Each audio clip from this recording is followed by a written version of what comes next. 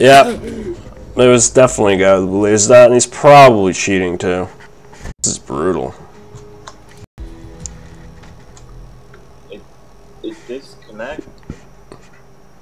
What the fuck?